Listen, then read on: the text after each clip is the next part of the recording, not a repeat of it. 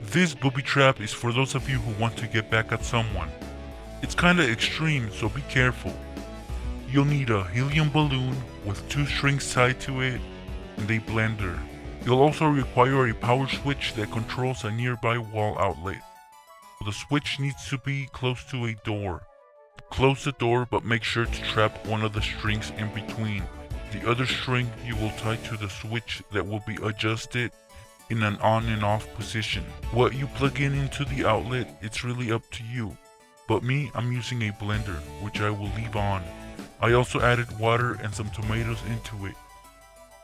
So if you've been following along, you'll know that once someone opens the door, the balloon will go up, flicking on the switch which controls the outlet that powers the blender that is in an on mode. Thank you for watching.